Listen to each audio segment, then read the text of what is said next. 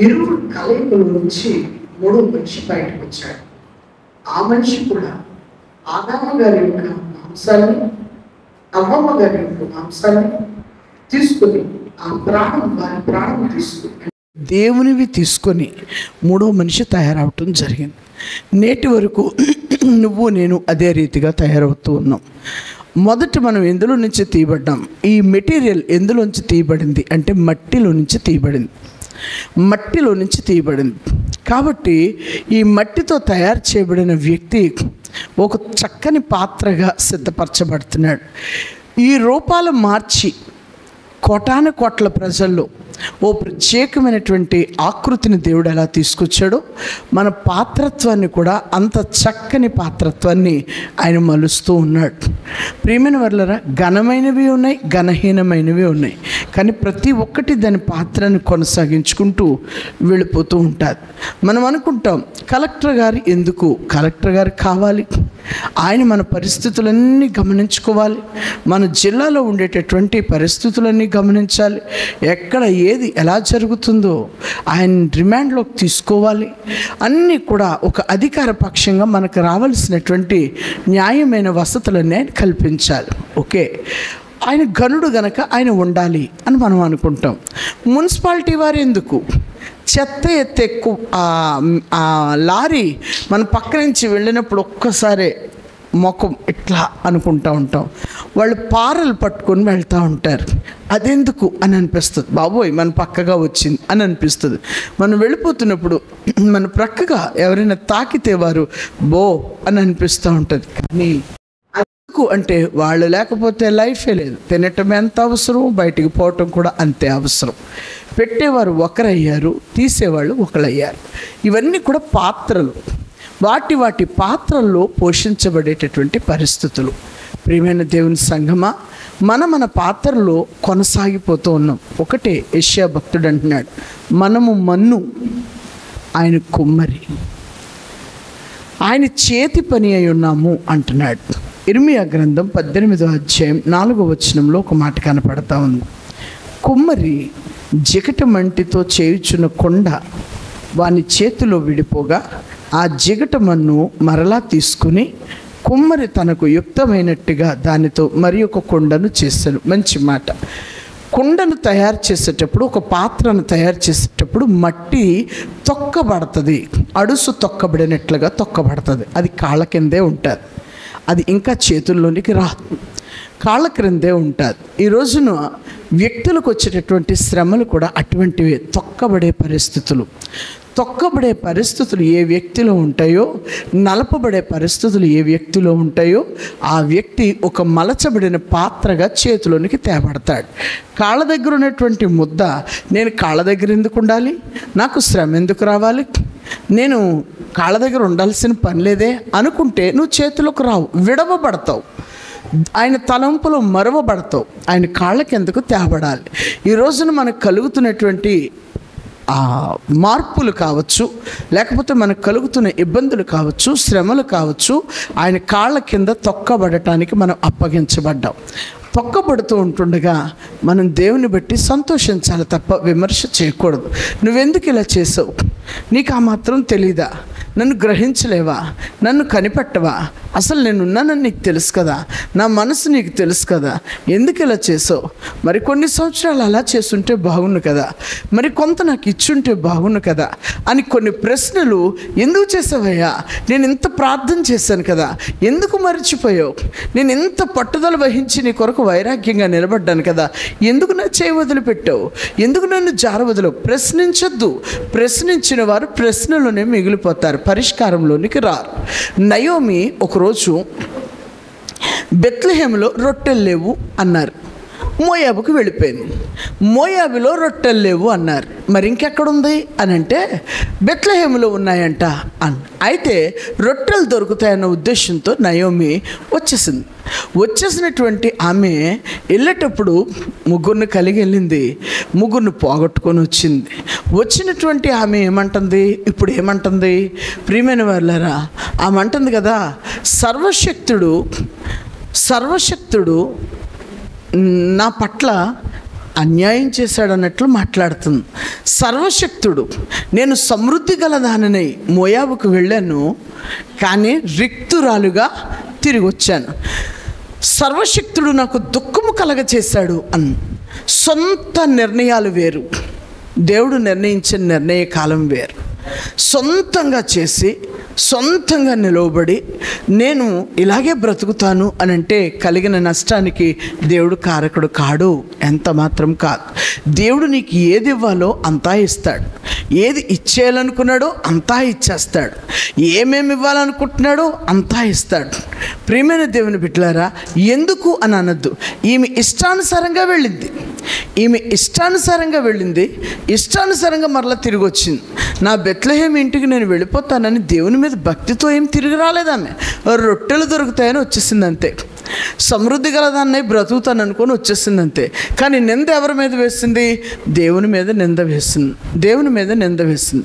ప్రియమైన దేవుని బిడ్డలారా చాలామంది మరణాల్లో దేవుని మీద నింద చాలామంది అపజయాల్లో దేవుని మీద నింద చాలామంది అవమానాల్లో దేవుని మీద నింద.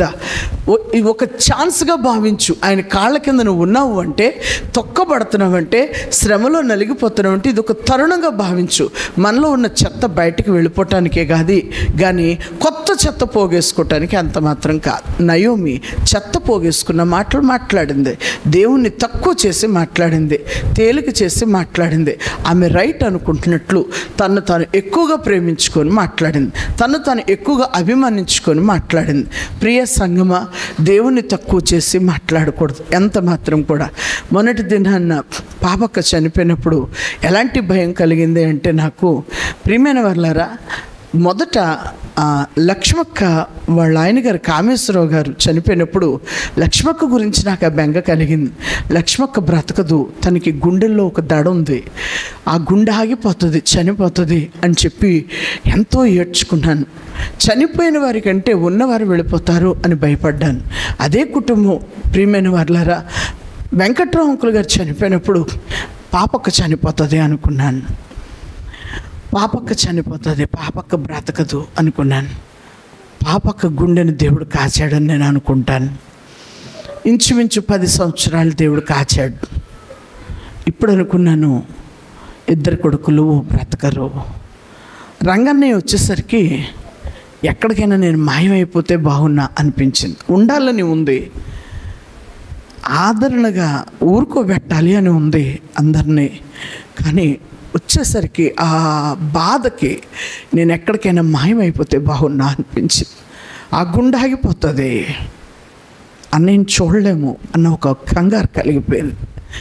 ప్రియమైన వాళ్ళరా దేవుడు తన హస్తాన్ని కాచి దాచి ఏడిపే లేకుండా అలా షడ సడన్ షాక్ తింటే ఒకసారి బొమ్మ ఎలా ఆగిపోతుందో ఆడుతున్న రోబో స్విచ్ నొక్కేస్తే ఆఫ్ అని ఎలా ఆగిపోద్దో కన్నీరు ఆగిపోయింది. అది ఆశ్చర్యం. అది ఆశ్చర్యం. అది ఆశ్చర్యం అనిపించింది. మా నాన్నగారు చనిపోయినప్పుడు మేము కూడా చనిపోతాం అనుకున్నాను. కనీసం నాన్నగారు చనిపోయినప్పుడు ఖచ్చితంగా చనిపోతాం. సంఘంలో కూడా చాలామంది చనిపోతారు అనుకున్నాను. ఎవరూ చనిపోలేదు. దేవుడు ఆయన చేతులతో ఆ ముద్దలను కాపాడుకున్నాడు. రమేష్ అన్ని చనిపోయినప్పుడు కూడా నేను అనుకున్న మాట నేను చనిపోతానని. నాకు లాస్ట్ లోపలికి దిగజారిపోతుంది లోపల లోవాటం వచ్చేస్తుంది. వీళ్ళందరూ అనుకుంటున్నారు నేను తిరిగి వస్తానని అన్నయ్య ఒక్కలే వెళ్ళారని ఆ గొయ్యి మా ఇద్దరిది. నేను అక్కడే రాలిపోతాను నన్ను ఇంకింటికి తీసుకురారు. చూడాల్సిన వాళ్ళందరూ అక్కడే చూస్తారు అదే సమాధిలో నన్ను పెట్టేస్తారు. అయిపోయింది. ఆయన లేని ప్రపంచాన్ని నేను చూడలేను. చూడలేను. ఒక్క దినము కూడా ఆయన లేనిది ఈ భూమిని నేను చూడలేను ఈ భూమి మీద నేను తిరగలేను అని అనుకున్నాను. ప్రియమైన దేవుని బిడ్డలారు అక్కడ కూడా నేను ఆ అద్భుతాన్ని చూశాను. కుటుంబీకులు ఆ ఎక్స్పీరియన్స్ చూశారు కనుక చెప్పగలుగుతున్నాను. ప్రియమైన వాళ్ళరా మట్టి వేయేసేంత వరకు కూడా అనుకున్నాను నేను రాలిపోతాను అని. మట్టి వేస్తూ తండ్రి యొక్కయో కుమారుని యొక్కయో పరిశుద్ధాత్మ యొక్కయో మంటిని మంటికి అప్పగిస్తున్నాను దేవా అన్నాను మట్టి వేశాను. ఏమైందో తెలీదు ఏ పవర్ రిలీజ్ అయిందో తెలీదు. నేను అలా పొడిబారిపోయి నడిచి వచ్చేసాను అంతే. నడిచి వచ్చేసాను అలా ఒంటరిగా నడిచి వచ్చేస్తుంటే ఒక్కతే తేలిపోతుందని గబగబా వచ్చారు. ఏది కమ్ముకుందో తెలియదు మంటి ముద్దలో మనం దేనికి తట్టుకోలేం. ఆయన నా మనిషిలాగా లేరు ఇప్పుడు. ఆయన నా మనిషిలాగా లేరు. ఇదేంటి ఒక సెకండ్ క్రితం ఉన్న తలంపు వేరు ఒక సెకండ్ తర్వాత ఉన్న తలంపు వేరు. దేవుడు తన ఆత్మను కమ్ముకోవడం అంటే అదే అని నేను గమనించాను లేదు అంటే మనం అందరం కూడా మన పెద్దోళ్ళు వెళ్ళినప్పుడు జత పని వారు వెళ్ళినప్పుడు పక్షులు రాలిపోయినట్లు రాలిపోతాం. కానీ ఉన్న వాటి కొరకు వెళ్ళిన వారి యొక్క ఆధిక్యత ఎక్కడ చూపిస్తాడు దేవుడు అంటే ఎక్కడ తెలుస్తుంది అని అంటే వారు మనం బ్రతికుండి బ్రతికిన కార్యాలు చేస్తూ ఉన్నప్పుడు ఖచ్చితంగా వారి పేరు జెండాగా ఎగురుతుంది. జెండాగా ఎగురుతుంది. ఆ తల్లి ప్రార్థన ఆ తండ్రి ప్రార్థన. ప్రియమైన దేవుని బిడ్డలారా రెండు గంటలు మూడు గంటలు గుండెలు బాదుకొని వాక్యం చెప్పొస్తాను. బయటికి వాక్యం చెప్పడానికి వెళ్ళినప్పుడు దరిదాపు రెండున్నర గంటలు మూడు గంటలు గుండెలు బాదుకొని తల ఏమైపోతున్నా ఏమైపోతున్నా శరీరం అయిపోతున్నా సబ్జెక్టు పరిశుద్ధాత్ముడు ఎంతవరకు అయితే చెప్పాలనుకున్నా అంతవరకు నేను అవకాశం ఇచ్చి మాట్లాడి కిందకి దిగితే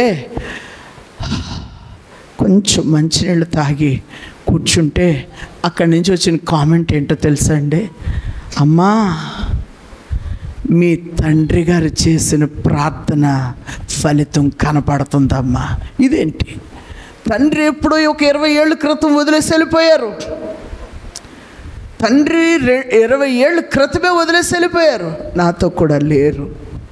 కానీ దిగంగానే అమ్మ ఎంత కష్టపడ్డారు? అనట్లా ఆ తండ్రి చేసిన ప్రార్థనకి అమ్మా అని అంటుంటే నా తండ్రి పేరు జై జెండాగా ఎగురుతుంటే చాలయ్యా చాలు.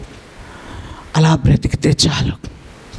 ఆ తండ్రికి మంచి పేరు తెచ్చి ధ్వజంగా ఆయన ఉంటే ఏ రీతిగా ఉందో అలాంటి ఆదరణ నేను ఆ సర్వీస్ నేను అందించాలి నా తోటి వారికి. ఎల్లవేళలా చిన్నపిల్లగా ఉండిపోవడం నీకు ఇష్టం లేదు. ఇష్టం లేదు. ఎల్లవేళలా చిన్నపిల్లకి ఇష్టం ఇష్టం లేదు నేను తల్లినవ్వాలని కోరుకున్నావు. కాబట్టి ఆయన ఒక నిర్ణయ కాలాన్ని తీసుకునేలో క్షేమకరమైన స్థలానికి తీసుకునేలో. మరలా తండ్రి చర్యలన్నీ మాలో ఉంచి నడిపిస్తున్నాం. ప్రియమైన దేవుని బిడ్డలారా మట్టి ముద్దలమైన మనం మలచబడుతూ ఉంటుండగా ఓ ఉన్నతమైన కార్యాలు చేయగలిగిన వారంగా ఉంటాం. దేవుని ప్రశ్నించకూడదు వేలైతే చూపకూడదు దుఃఖపడకూడదు. సర్వశక్తుడు నాకు దుఃఖము కలగజేశాడు. సర్వశక్తుడు నాకు దుఃఖము కలగజేశాడు అని నయోమి సాక్ష్యం ఇస్తుంది ఎప్పుడు వెళ్ళి నష్టపోయి తిరిగి వచ్చాక ఆ సాక్ష్యం ఇస్తుంది ఎందుకమ్మా ఏడుస్తున్నావు అంటే ఇదంతటి కారణం ఆయన అని చెప్తూ ఉంది. ఆ దుఃఖానికి కారణం ఆయన అనే. ప్రియ సంగమా ఆలోచన చేయండి. నన్ను నయోమి అని పిలవకండి. నేను నయోమక్కను కాను. నయోమి పెద్దమ్మను కాను. నయోమి వదినమ్మను కాను. మరాని పిల్లండి చేదుగా చేసేసాడు నా జీవితాన్ని అంటున్నాడు. దుఃఖపడే వారి యొక్క అర్థము దుఃఖానికి అర్థం ఏంటి అంటే నయోమి పలికే మాటలు.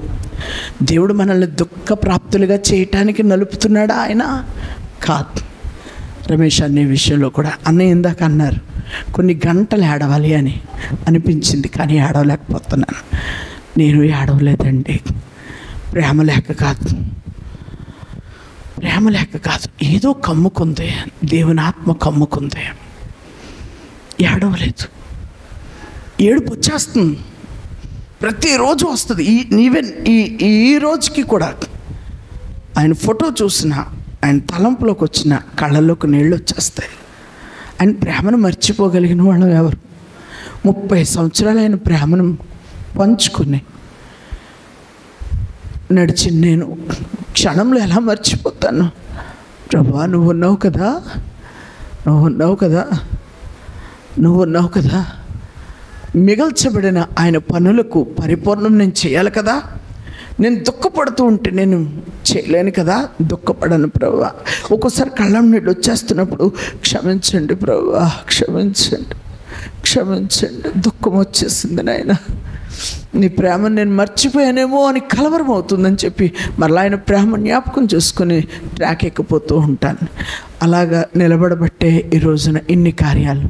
అన్నయ్య వెళ్ళిన దగ్గర నుంచి ఈనాటి వరకు కూడా ప్రతి సంవత్సరం చెక్ చేసుకుంటాను. చాలా పనులు చక్కబెట్టానండి. చాలా పనులు చక్కబెట్టాను. ఆయన ఇంకా ఆయుష్ ఇస్తే పనులన్నీ చక్కబెడతాను. ఎన్ని పనులు నాకు ఉంచితే అన్ని పనులు చక్కబెడతాను. ప్రియమైన దేవుని బిడ్డలారా నీతివంతులు ఉంటుండగా కొన్ని పనులు చేస్తాం. వాళ్ళు వెళ్ళి ఉంటుండగా అనేకమైన పనులు చేస్తామని మంచి అనుభవాల ద్వారా నేర్చుకున్న సంగతి. అలాగే కుటుంబాలకు ఆదరణ కూడా అట్టి రీతిగానే దొరుకుతుంది. ప్రియమైన దేవుని బిడ్డలారా ఆయన తండ్రి అయితే మనం పిల్లలమయ్యాం. ఆయన కుమ్మరి అయితే మనం జిగటమున్నయ్యాం. ఆయన ద్రాక్షవల్లి అయితే తీగలు మనమయ్యాం. ఆయన కాపరి అయితే గొర్రెలు మనమయ్యాం. తలరాయి ఆయన అయితే కట్టడం అంటే మూలరాయి ఆయన అయితే కట్టడం మనమయ్యాం. ఆయన పెండ్లి కుమారుడైతే మనం పెండ్లి కుమార్తె అయ్యాం. వేరు ఆయన అయితే వృక్షం మనమయ్యాం. మనం ప్రజలకు కంటికి కనపడతాము. ఆయన కనపడడు మరుగై ఉంటాడు. డెవలప్మెంట్ అంతా దాని మీదే ఆధారపడి ఉంటుంది. ఆయన మీద నిజంగా ఆధారపడితే నువ్వు పచ్చని వృక్షముగా ఉంటావు. అనేక మందికి నివాస స్థలాన్ని దయచేసే వ్యక్తివిగా ఉంటావు. విశ్రాంతినిచ్చే చెట్టుగా ఉంటావు.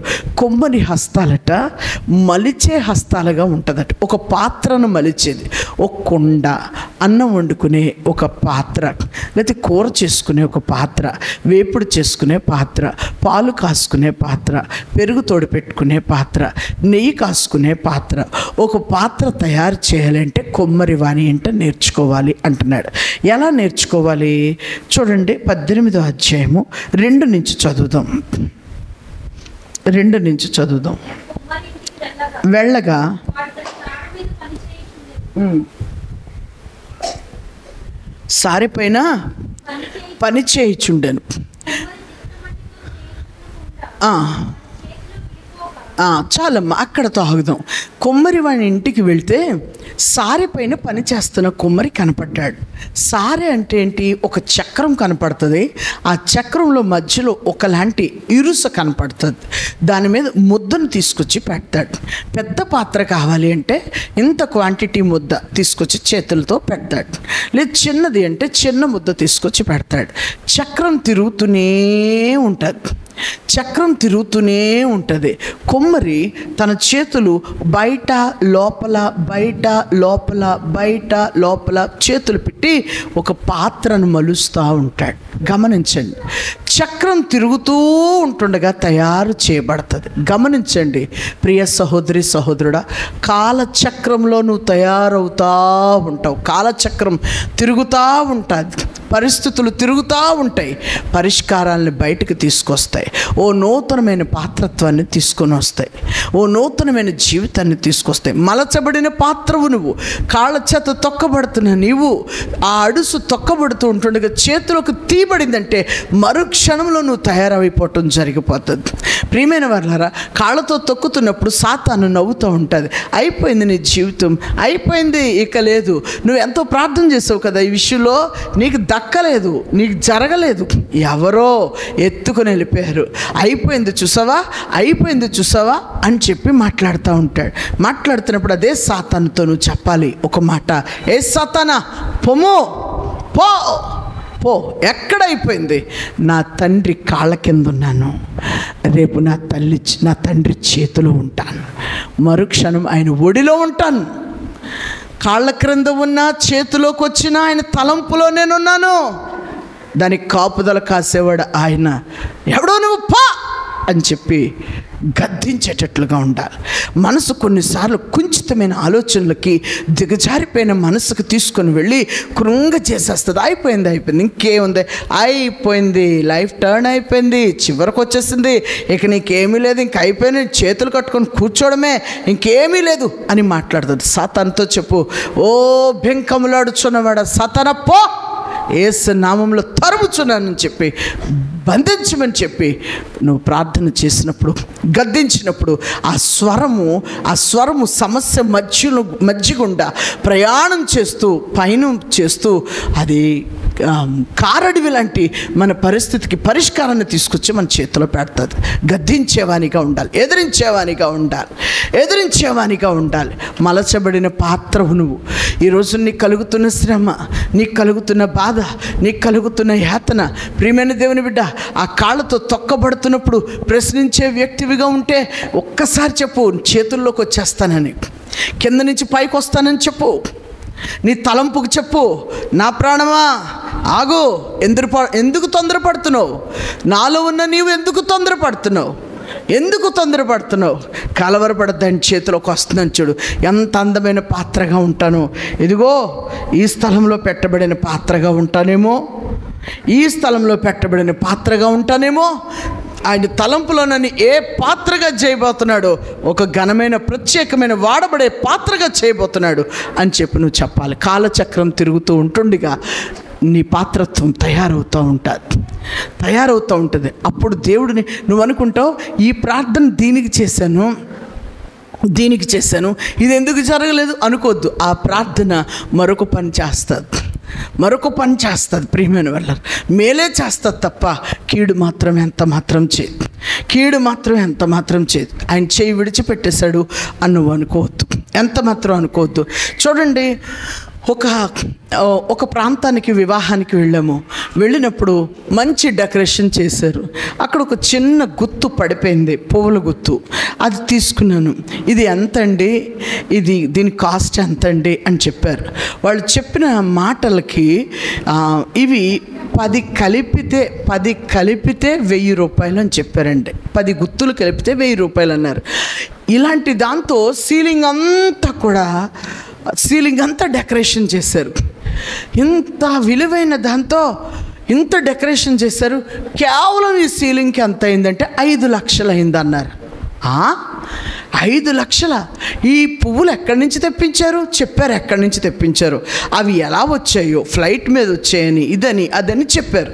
అవునా? అని ఆ పడిపోయిన గుర్తుని తీసి ముక్కు దగ్గర వాసన చూశాను. ఐదు లక్షలు అంటున్నారు కదా ఐదు లక్షల? అని చెప్పి వాసన చూస్తే వాసన లేదు. సంపంగి పువ్వు వాసన లేదు. మరవనుకున్న వాసన లేదు. ఓన్లీ దవన అనుకున్న వాసన కూడా లేదు. అసలు ఏ వాసన లేదు. నేను వాసన మరలా మరలా చూస్తుంటే ఆ డెకరేషన్ చేసి ఆయన అంటాడు మేడం అది గడ్డి పువ్వు. మర్చిపోకండి. వాసన ఎందుకు వస్తుంది? వాసన వస్తుందని మేము చెప్పామా? అని అంటే నేను అన్నాను మరి దీనికి ఇంత విలువ ఎందుకు పెరిగింది? ఇంత విలువ ఎలా పెరిగింది? నేను అంటున్నాను. ఏదో మాటల్లో పడిపోయారు. ఎవరో వచ్చి ఎంత విలువైందని చెప్పి అందమైన ముడి వేసుకుని ఆ ముడి పైన ఆ గుర్తు పెట్టుకున్నారు. పెట్టుకుంటే ఎవరు అన్నారు? మేడం ఇది తలలో పెట్టుకునేది కాదండి. పడేయండి మాకు పని పనికొచ్చేది మీకు పనికిరానిది అన్నారు. అన్నాక అతను అంటాడు తల్లో పెట్టుకునేది కాదండి అది గడ్డి పువ్వు అన్నాడు. మరొకరు అన్నారు మా తాతయ్య గారి ఫోటో దగ్గర కొన్ని పువ్వులు కట్టి ఇవ్వండి దండ వేస్తాను అని అంటే అతను అంటాడు అది గడ్డి పువ్వు అండి. అది పూజకు పనిచేసే పువ్వు కాదు. డెకరేషన్కు మాత్రం ఉండే పువ్వు అని. నేను అన్నాను సార్ మరి దీనికి ఎంత విలువ ఎలా పెరిగింది సార్? రైట్ ఎంత విలువ ఎలా పెరిగింది సార్? అంటే ఆయన అంటాడు కదా మీరు అన్నటువంటి డైజీ ఫ్లవర్స్ ఉన్నాయి అవి ఒక కొన్ని గంటల తర్వాత వాడిపోతాయి. ఇవి నలభై ఎనిమిది గంటలు అలాగే ఉంటాయి. వాడిపోవు నేను అన్నాను పెళ్ళంటూ అయిపోయాక ఇంకా అవి వాడిపోతే ఎందుకు? వాడిపోకపోతే ఎందుకు? అందరూ వెళ్ళిపోతారు కదా అని అన్ని కార్యక్రమాలు రేపటి వరకు ఈ స్థలంలోనే ఉంచుతున్నారు కదా. మూడో రోజు వరకు కూడా అందరూ ఇక్కడే ఉంటున్నారు కదా. అందుకోసం ఈ డెకరేషన్ నిలబట్టడం కోసం ఈ ఏర్పాటు చేశారు. ఘనంగా చేయాలన్నారు. మేము ఇది చూపించాం. ఏడ్చన్ గడ్డి పువ్వుకి ఎంత విలువ? ఇంత ప్రత్యేకత. పూజకు పనికిరాదు. తల్లోకి పనికిరాదు. వాసనకు పనికిరాదు. మొగలి రేకుకుండే వాసన కూడా లేదు. కానీ మూడు రోజులు నిలుస్తుంది కాబట్టి దానికి అంత పవరా అయ్యా ఇంతకంటే శ్రేష్టమైన వాడవు నువ్వు కావా అని దీనితోనే కదా పోల్చి చూపించావు గడ్డి పువ్వు కంటే విలువైన వాడవు కాదా? గడ్డి పువ్వుకు విలువ కట్టిన నేను రంగులు దిద్దున నేను నీ జీవితానికి మెరుగులు దిద్దనా? దాని వైభవము కంటే సొలోమును వస్త్రముకున్న వైభవము కంటే నీ యొక్క ఘనత నీకు రావలసినవన్నీ కూడా అంత వైభవంగా నేను నీకు ఇస్తాను కదా. మలచబడిన పాత్రవు కదా నా చేతిలో ఉన్నదానవు కదా. వదిలిపెట్టని దానని కదా అని ఆయన అంటున్నాడు. అంతకంటే విలువైన వారమట. ఆ పుష్పం చూడంగానే అదే మాట. మొదట నా రాజ్యమును నీతిని వెతకండి. అప్పుడు అవన్నీ మీకు దొరుకును. మీకు రావలసినవన్నీ మీకు దొరుకుతాయి. నన్ను మీరు వెతుక్కుంటూ వెళ్ళండి అని ఆయన మాట్లాడుతూ వచ్చాడు. ప్రియ దేవుని బిట్లారా దేవుని సన్నిధానంలో నిలుచున్న మనము ఆయన భక్తి మార్గంలో కొనసాగాలి. ఆయన మలచబడుతూ ఉంటుండగా మంచి పాత్రత్వం.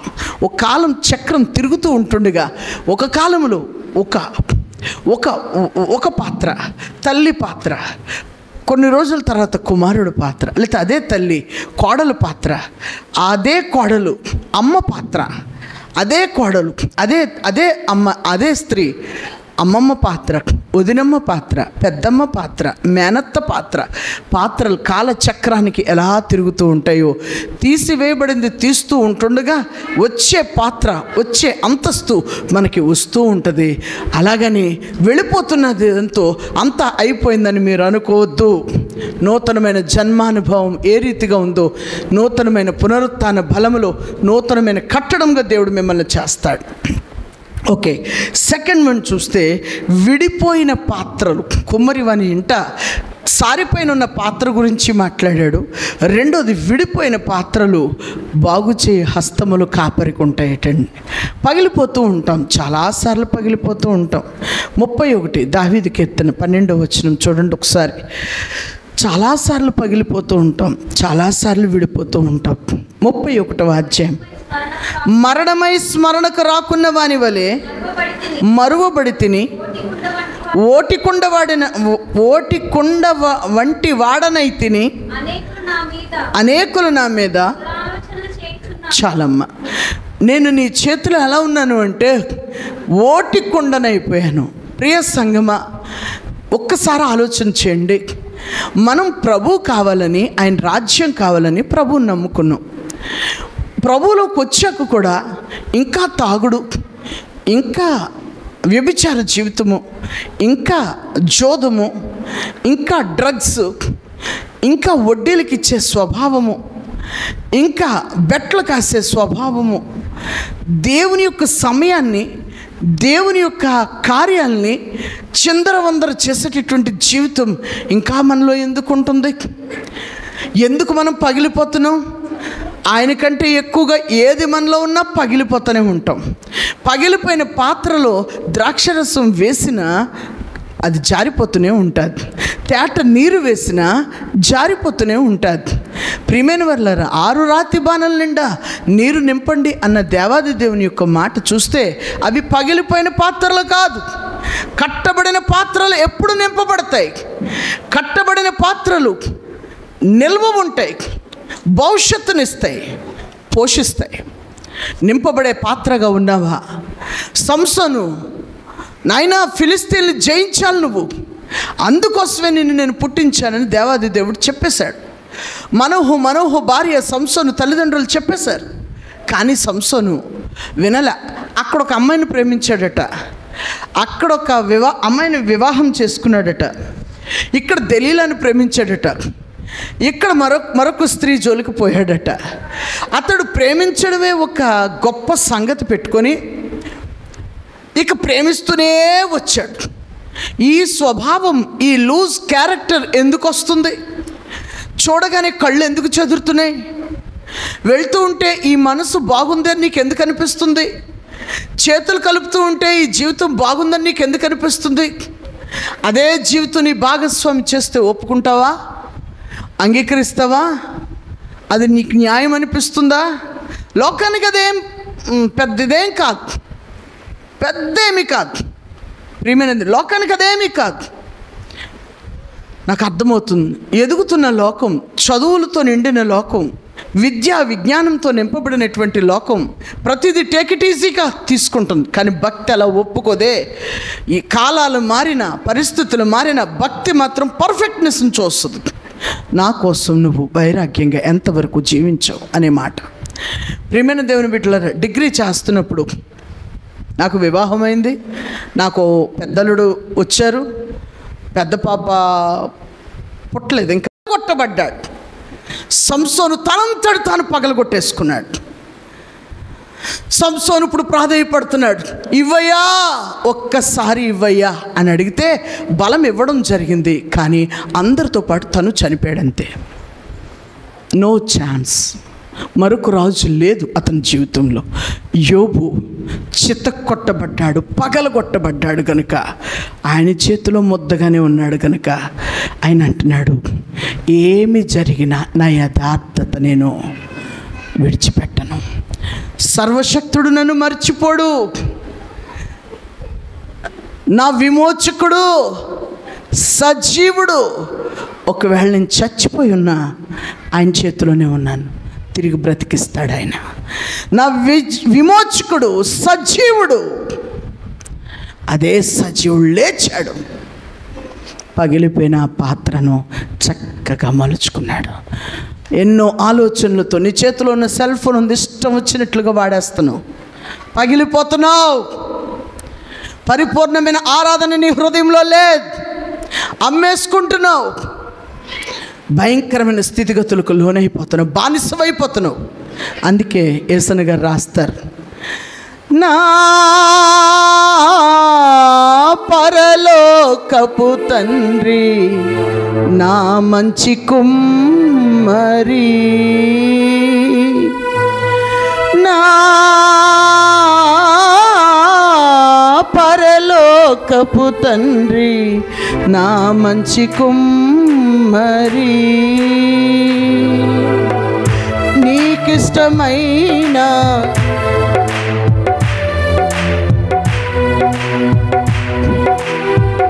సారెపై నుంచావా నీకిష్టమైన పాత్రను చేయ? నన్ను విసిరేయక సారెపై నుంచావా జ్యోతిర్మయుడా నా ప్రాణప్రియుడా స్థుతి మహిమలు నీకే. జ్యోతిర్మయుడా నా ప్రాణప్రియుడా స్థుతి మహిమలు నీకే. హలలుయా పగిలిపోయిన పాత్రను ఆయన తిరిగి కట్టడానికి సంసిద్ధంగా ఉన్నాడు. ప్రియమైన దేవుని బిడ్డలారా మైకిల్ ఫార్డే అనేటటువంటి ఒక శాస్త్రవేత్త కొన్ని రసాయనాలు పెట్టుకొని మంచి మంచి పదార్థాలు తయారు చేస్తున్నాడు. తెలియనటువంటి ఒక కార్మికుడు వచ్చి వెండి పాత్రలో ఒక రసాయనం వేసేసాడు. అది ఇలా ఇలా అష్టవంకరలు అయిపోయిందట. అష్టవంకరలు అయిపోతే ఫార్డే గబగబా వచ్చి మరొక రసాయనాన్ని దాని మీద వేశాడు.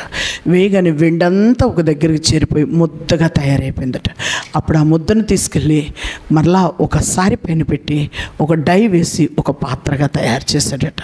నువ్వు పగిలిపోయి ఉండొచ్చు నీకున్న అలవాట్లను బట్టి నీకున్న మనస్తత్వాన్ని బట్టి కానీ తిరిగి కట్టేవాడు ఆయనే. ఈ బ్రతుకు ఆయనకు చూపించకూడదు. నేను నీచుణ్ణు అయోగ్యుణ్ణు పనికిరానుణ్ణు అను అనుకోవద్దు. తిరిగి కడతాడు. ఆయన చేతిలో ఉన్నావు గనక మరొక్కసారి పగిలిపోవడానికి అవకాశం ఇవ్వకుండా నేను నన్ను నిలబెట్టుకో. ప్రియమైన దేవుని సంగమ మూడో విషయం ముగింపులోనికి వస్తున్నాను. మూడో విషయం దేనితో ఆ ముద్దను చేస్తున్నావయ్యా అని అడిగితే బయట ఉన్న కుమ్మరి నీళ్ళు పోస్తూ అడుసు తొక్కుతూ మట్టిని సవారుగా చక్కగా అణువుగా తిప్పుతున్నాడు. కానీ పరలోకపు తండ్రిలో ఉన్న ప్రత్యేకత ఏంటి అని అంటే ఆయన రక్తముతో నిన్ను తడుపుతున్నాడు. రక్తముతో తడుపుతున్నాడు. విలువైన పాత్రగా నిన్ను సిద్ధపరిచి. బయట ఉన్న కుమ్మరికి పరమ కుమ్మరికి వ్యత్యాసం ఏంటి ప్రత్యేకత ఏంటి బయట ఉన్న కుమ్మరి నీళ్ళు పోస్తున్నాడు. నీళ్ళే పోయగలడు. పరమ కుమ్మరి రక్తముతో ముద్దను తడుపుతున్నాడు. అయ్యా నీ గాయాలయ్యా. అయ్యా రక్తమయ్యా అని అంటూ ఉన్నప్పుడు ఆయన అంటాడు కదా లేదు లేదు. ఎంత మాత్రము నా బిడ్డలకు రక్తము అనే అనుబంధము వారికి నాకు మధ్యన ఉండాలి. ఎందుకయ్యా అంటే వారికి కలిగిన శిక్ష విడిపించబడాలి. వారికి కలిగిన శాపము రద్దు చేయబడాలి. రక్తము మాత్రమే పరిశుద్ధుని రక్తము మాత్రమే వారిని పునీతులుగా చేయగలదు వారిని విడిపించగలదు. గనుక ఆ పాత్రలు నేను దీంతో తయారు చేస్తున్నాను తెలుసా? గాయాలు కలిగిన ఈ హస్తముతో తయారు చేస్తున్నాను. పాత్రగా చేస్తున్నాను. పరిశుద్ధమైన పాత్ర. ఏ పాత్ర అయ్యా దానికి పేరు అని అంటే కరుణా పాత్ర అంటున్నాడు. దయాప్రాప్తురాలా నీకు శుభము. అలి అని పలికెడి ఒక శబ్దము ఆ పాత్రకు మాత్రమే.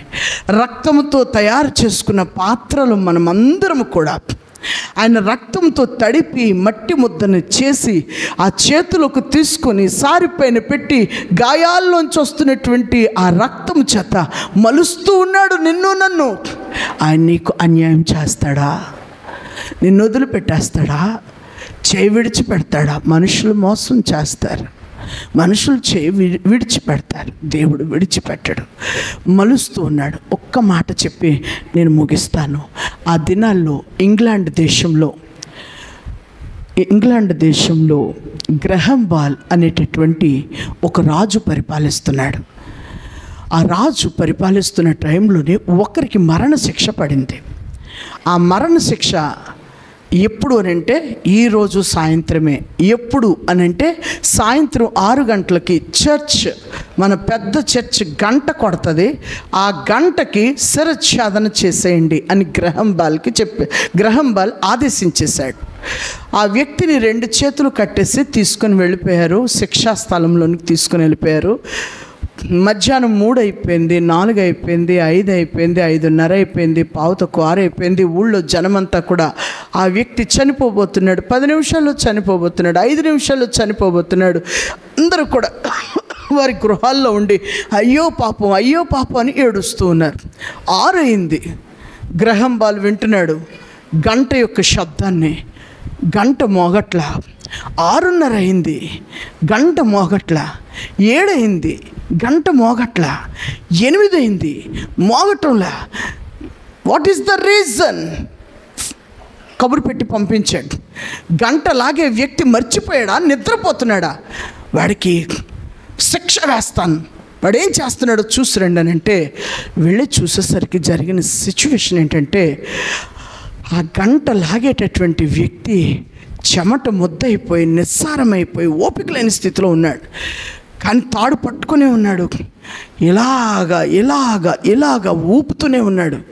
ఏమైందని చెప్పి లోపలికి వచ్చిన జనం బయటకు వచ్చి గంట వైపు చూశారు. గంట మధ్యలో ముళ్ళు ఉంటుంది కదండి. ఆ ముళ్ళును పట్టుకొని ఆ మరణశిక్ష విధించిన అతని యొక్క భార్య ఆ ముళ్ళుని ఆ పుల్లని గట్టిగా పట్టేసుకొని ఉందండి. ఆమె ఎంత పల్చగా ఉందో ఆ ఊసను పట్టుకొని పట్టుకొని ఉందండి. ఇతడు లాగుతుంటే ఇలాగంటుంటే ఆ ఈశ్వరున గంట గోడకెళ్ళి తగులుతుంటే తగలగా తగలగా తగలగా తల బద్దలైపోయిందండి ఆవిడకి. ఒళ్ళంతా పగిలిపోతుందండి. మరలా ఇటువైపు కొట్టాలి. అట్నుంచి ఇలా కొట్టడం బరువు అయిపోయింది కదా అప్పుడు ఇలాగ బలంగా కొట్టేసరికి ఇప్పుడు ఇటు నుంచి ఇలాగా జరిగి ఆ ఆ ముళ్ళుని పట్టుకొని ఉందండి.